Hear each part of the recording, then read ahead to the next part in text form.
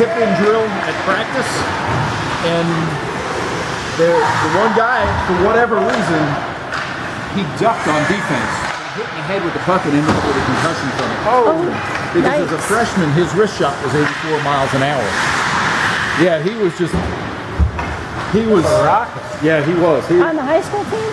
yeah, I think that's what the one guy was telling me. yeah, he was. He was tough. He ended up playing in Europe one summer.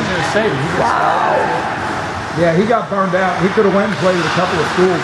Michigan State was the first one to contact us, and he actually got scouted because the, the scout was looking at a player from Raleigh and talked to the coach ahead of the game, and he said, "No, you want to see the guy that I don't want him matched up on."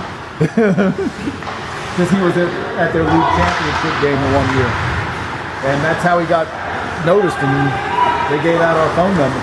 Wow. Well, I got a call. This is a hoot from Dallas, Texas, when Nick's playing in a tournament in Canada.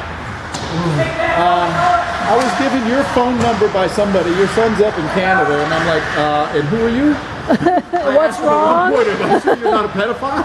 Yeah. And that's how it, he didn't meet the coach. Free candy man. He didn't, he didn't meet the coach he played for in Europe till he got off the plane because a month before or eight weeks before the, I guess it was about eight weeks before the tournament, one of his defense